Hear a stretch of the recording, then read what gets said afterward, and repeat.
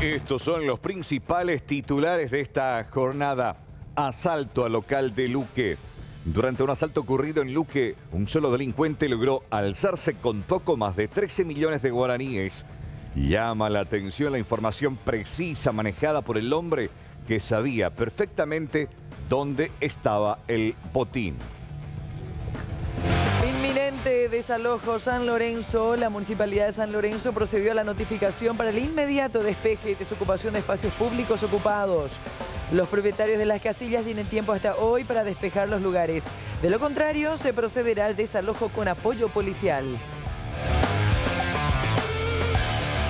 Enfrentamiento Guajorí. Cerca de 20 personas entre policías y campesinos quedaron heridas tras un nuevo enfrentamiento en Guajorí, departamento de Caguazú. Varios labriegos fueron detenidos. Inseguridad en Maramburé. Vecinos de Maramburé Luque exigen seguridad y justicia para un joven que falleció tras estar internado por varios días luego de ser víctima de asaltantes el pasado 20 de diciembre. Los pobladores aseguran que viven en una zona crítica donde a diario se registran violentos asaltos. Hola, hola.